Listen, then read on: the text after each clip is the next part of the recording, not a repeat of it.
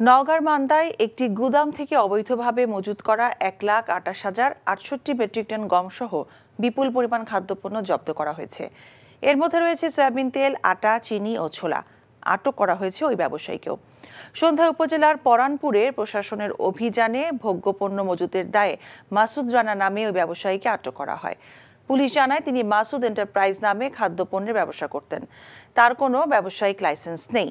অভিযানে উপজেলা নির্বাহী কর্মকর্তা লায়লা আরজুমান, খাদ্য নিয়ন্ত্রক মোহাম্মদ আলী সহ অন্যরা উপস্থিত ছিলেন। এ সময় গুদাম থেকে এক লাখ আটাশ হাজার মেট্রিক টন গম, বিশ হাজার বাহাত্তর লিটার সয়াবিন তেল, আট মেট্রিক টন আটা, ছোলা বুট বত্রিশ মেট্রিক টন এবং চার মেট্রিক টন চিনি জব্দ করা হয়। রমজান মাসকে কেন্দ্র করে কিছু অসাধু ব্যবসায়ী খাদ্যপণ্য মজুত করে দাম বৃদ্ধির পায়তারা করছে।